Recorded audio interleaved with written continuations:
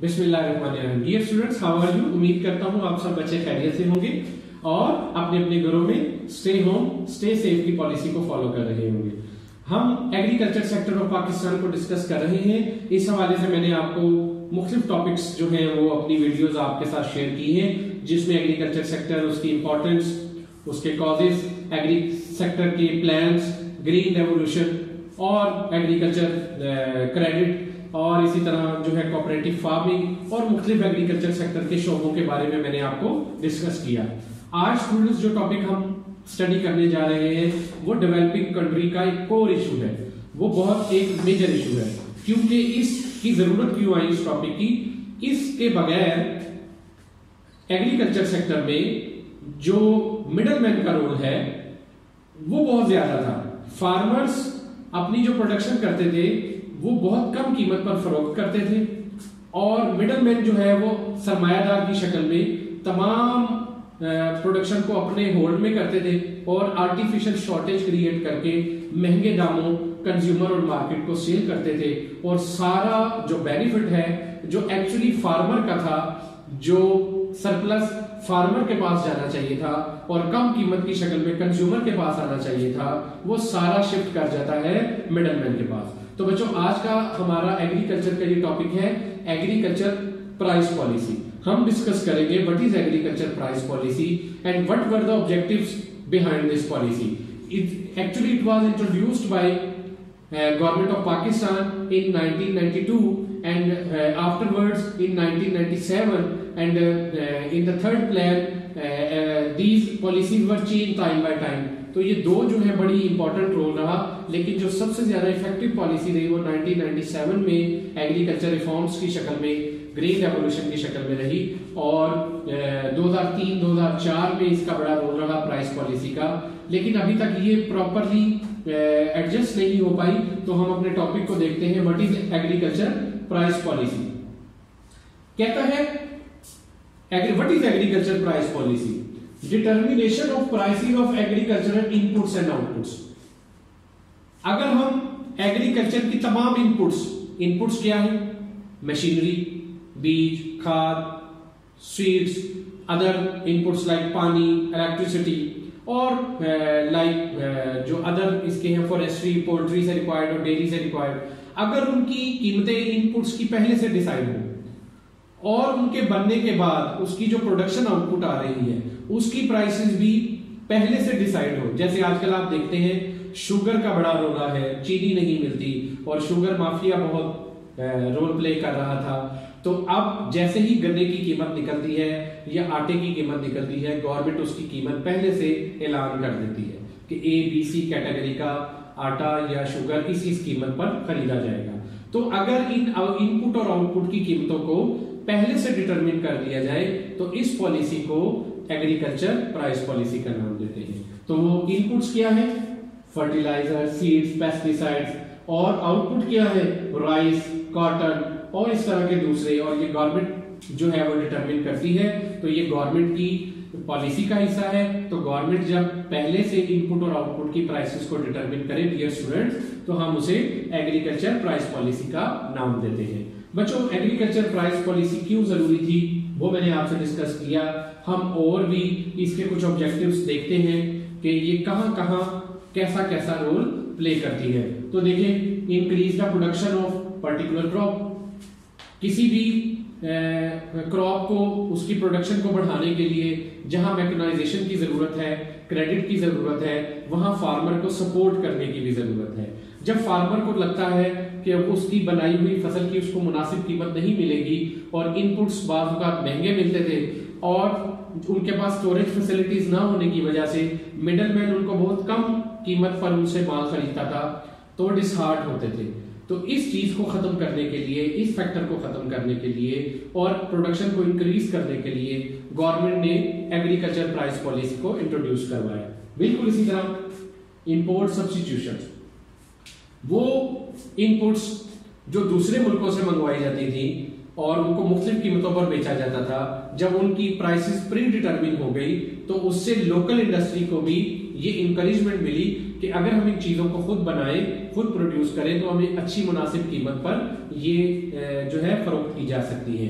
तो सब्सिट्यूट तैयार हुए हमारे मुल्क में। इस वजह से अपने मुल्क में सब्सिट्यूट तैयार करने के लिए उनकी प्राइसेस पहले से डिटरमिन की गई, जिसको एग्रीकल्चर प्राइस पॉलिसी का नाम दिया गया।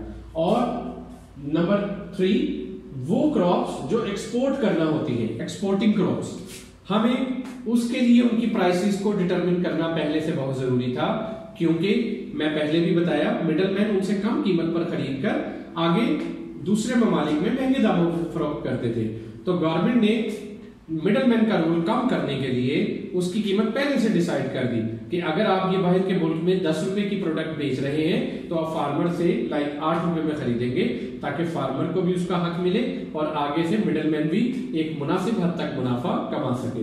तो इस मकसद के लिए भी एग्रीकल्चर प्राइस पॉलिसी ज़रूरी थी।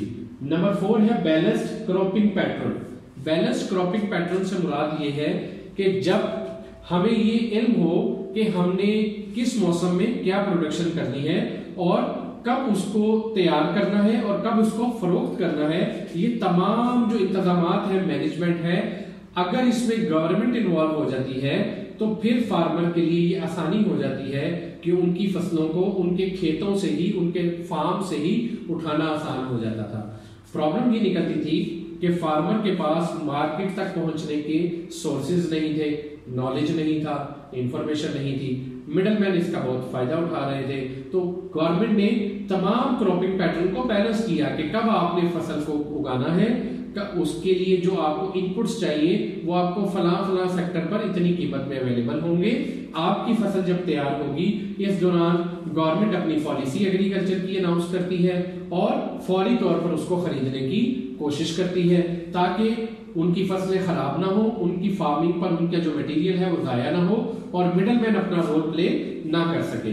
बिल्कुल इसी तरह स्टूडेंट्स इसमें और जो ऑब्जेक्टिव थे वो था increase the income level of farmers no doubt जब फार्मर को उसकी चीज़ की कीमत मुनासिब मिलेगी तो वो सबसे पहले ए, कोशिश करेगा फार्मर कोशिश करेगा कि वो अपनी उस मखसूस कीमत पर बेचे जो उसको ज़्यादा से ज़्यादा पे कर रहा है।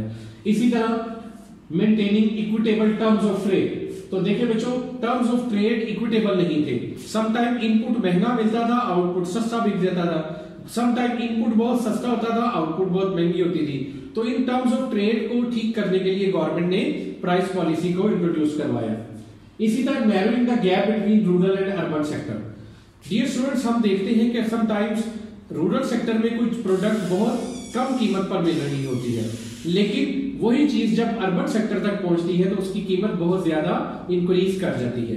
तो इस गैप को खत्म करने के लिए गवर्नमेंट ने प्राइस पॉलिसी इंट्रोड्यूस करवाई और इसको कुछ इस तरह इंट्रोड्यूस करवाया कि तमाम सेक्टर्स को आपस में इस तरह ज्वाइंट किया कि तमाम जगहों पर एक जैसी कीमत पर ही जो है वो प्रोडक्ट आपको इनपुट और आउटपुट अवेलेबल होते थे।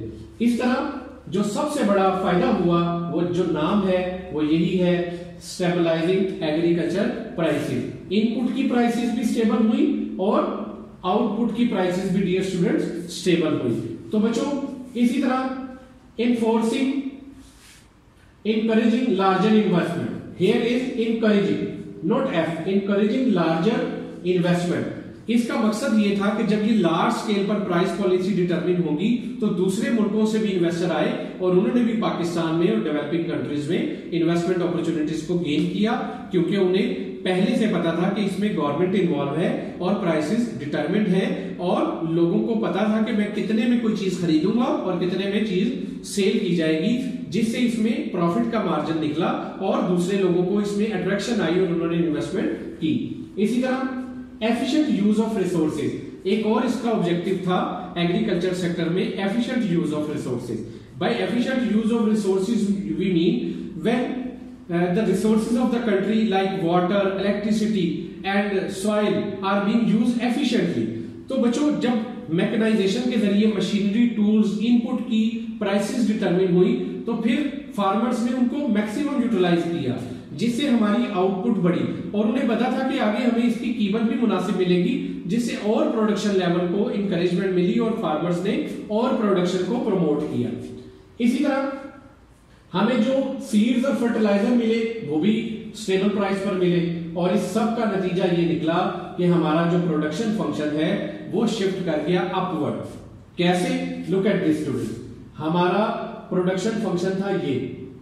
Output is a function of labour and capital जब आउटपुट बढ़ती है तो प्रोडक्शन फ़ंक्शन यहाँ से यहाँ शिफ्ट कर सकता है। तो इस तरह हमने अपनी लेबर और कैपिटल को प्रॉपर प्राइसिंग के ज़रिए अपने आउटपुट को पहले से बढ़ा लिया प्रोडक्शन फ़ंक्शन को इंक्रीज कर लिया। तो डियर स्टूडेंट्स उम्मीद करता हूँ कि आपको मेरा ये एग्रीकल्चर प्राइस पॉलिसी का टॉपिक भी समझ आया और आपने इसको स्टडी किया। आप बच्चों से जो रिक्वायरमेंट है, वो आपको आपके गूगल क्लासरूम पर और दूसरे जब मेथडोलॉजीज है, उस पर असाइनमेंट और क्विज जनरेट करूँगा। वो आप क्विज और असाइनमेंट कवर करेंगे ताकि आपको इन टॉपिक्स के बारे में मजीद नॉलेज मिल सके। Until unless stay safe stay home अल्लाह हाफिज।